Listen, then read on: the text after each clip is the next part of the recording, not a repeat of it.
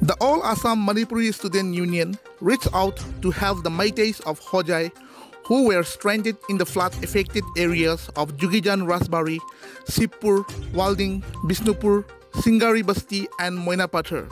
The Assam flood situation is still grave with nearly 7 lakhs people in 31 districts affected by the flood.